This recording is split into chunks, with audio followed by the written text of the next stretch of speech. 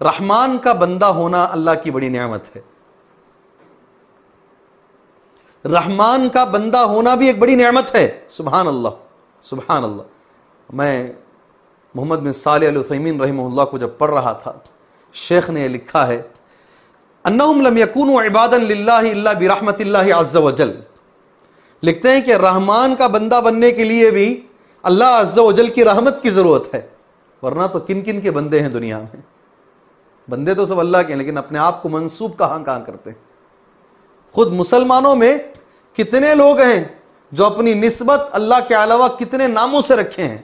سبحان اللہ۔ کیسے کیسے لوگ ہیں؟ اس لیے رحمان کا بندہ بننا بڑی عظیم نعمت ہے۔ عبد الرحمان ہونا عبد الرحمان یاد رکھیے عباد الرحمان جو لفظ ہے ایک رہے تو عبد الرحمان ہے، بہت سارے رہے تو انہی کو عباد الرحمان بولیں گے۔ سمجھ رہے ہیں؟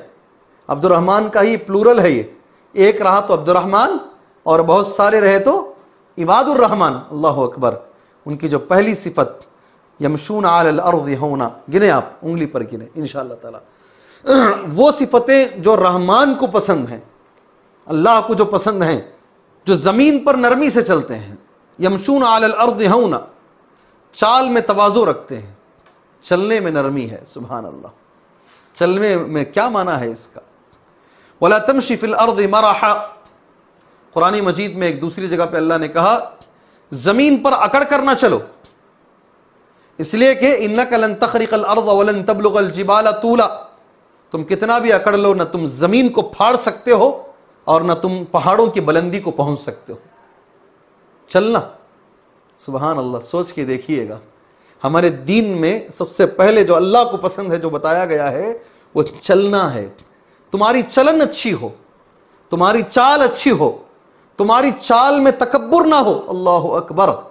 چال میں تکبر، اور حدیث بیان کی گئی ہے، بینما رجل رجل یمشی ویتجلجل۔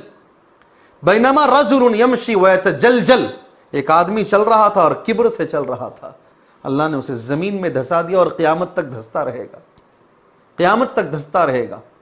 آدمی کو جو ٹخنے کے اوپر کپڑا پہننے کا جو بتایا گیا ہے آدمی کو آجزی آتی ہے اس اور جو جھاڑتے ہوئے جاتے ہیں، وہ ایک طریقے سے کبر کی علامت ہے۔ پرانے زمانوں میں کہتے ہیں، جتنی بڑی رانی ہوتی تھی، اس کے پیچھے کا جو کپڑا ہوتا تھا، اتنا لمبا ہوتا۔ پکڑ کر چلتے تھے لوگ کپڑا اس کا۔ کبر کی علامت۔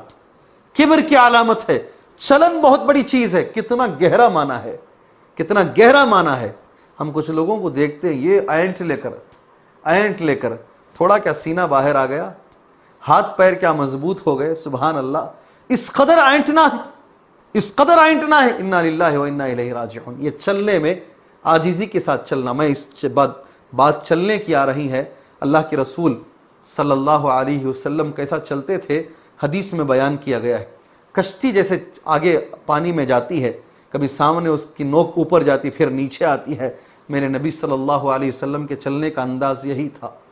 اور یہ بھی کہتے ہیں کہ لمبے لمبے قدم رکھتے تھے، چھوٹے چھوٹے نہیں، قدم لمبے۔ تیسری بات یہ بتائی گئی ہے، زمین پر مضبوط قدم رکھتے تھے۔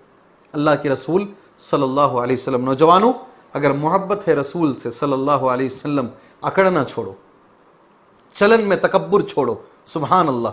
تم ہوگے اپنی جگہ پر باڈی گارڈ تم ہو ہوگے اپنی جگہ پر تمہارا سینہ چھتیس، پچاس پر چھ انچ کا ہوگا۔ مگر چال میں نرمی رکھو، یہ ضرورت ہے۔ یہ اللہ کے نبی صلی اللہ علیہ وسلم نے بھی کہا اور قرآن مجید میں اللہ نے بھی کہا ہے۔ ہاں ایک بات اگر میں یہاں نہیں کہوں تو پھر بات جو ہے پوری مکمل نہیں ہوگی۔ حضرت عمر رضی اللہ تعالیٰ عنہ کا قول ہے۔ حضرت عمر رضی اللہ تعالیٰ عنہ کا قول ہے، ایک آدمی کو حضرت عمر رضی اللہ تعالیٰ عنہ نے دیکھا۔ عمر، ان عمر را شاب بن یمشی رویدہ بڑا مریل کی طرح چل رہا تھا۔ حضرت عمر نے کہا ماں بالک؟ آنتا مریض؟ کیا ہو گیا مریض ہو کیا بھائی؟